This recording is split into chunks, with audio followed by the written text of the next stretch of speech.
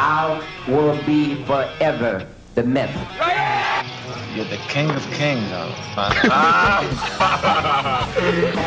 There's always a pecking order. The little packers never mess with the big packers. So I'm a rooster, and he's a chicken, so to speak.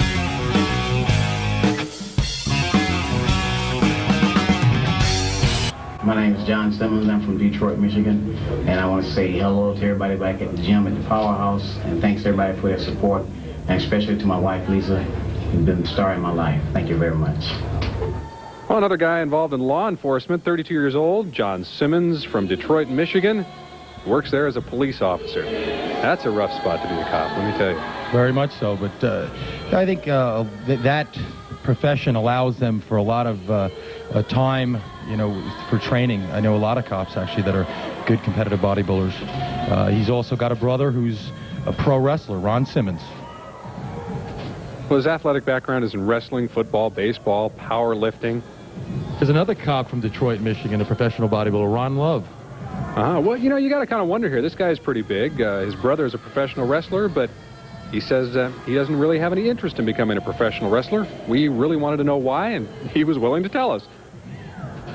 Well, bodybuilding is my is more of my sport. You know, as far as wrestling, um, with him being in it, I'm sure it'd be no problem for me to branch off.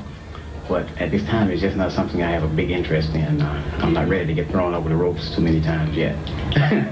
not just yet. Even though the money is fantastic, but uh, we'll we'll see what happens later. He's won the 90 overall Junior USA, the 91 North American light heavy weight class, and he's trying to go three for three here. He might have it. Well, he looks good. He talked a little bit about, uh, you know, not wanting to get hurt as a wrestler. Re-injury is a serious problem for bodybuilders? The heavier you train, the more apt you are to uh, to get injuries with uh, muscles and uh, tendons. Look at the striations there. All those mus muscular shots are great shots for him. And showing the leg separation here. Very even. The upper body to the lower body. The waist looks real small here. Just a, a very symmetrical, pleasing physique. Yeah, I, I think he's going to be tough to beat in this weight class, Mark. We're back in Santa Monica, California with the light heavyweights on stage. They've received their trophies during the break, and here's how they finished. Harold Cherry came in fifth. Monty Spicer finished fourth. Tyrone Felder came in third. Rod Ketchens in second. And the overall winner in the light heavyweight division was John Simmons. Any surprises for you there?